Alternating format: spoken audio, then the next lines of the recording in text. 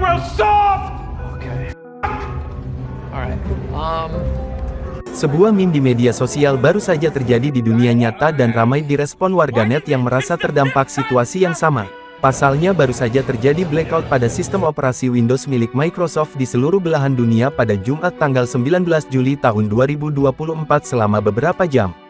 Dilaporkan kejadian ini berdampak pada berbagai sektor di antaranya bandara penerbangan, perbankan, provider telekomunikasi, pusat perbelanjaan, media massa, dan banyak perkantoran di seluruh penjuru dunia. Microsoft pada laman media sosial X menyebut masih terdapat banyak gangguan meski pihaknya sudah dalam proses perbaikan sistem yang mempengaruhi akses pada aplikasi Microsoft 365 dan beberapa lainnya.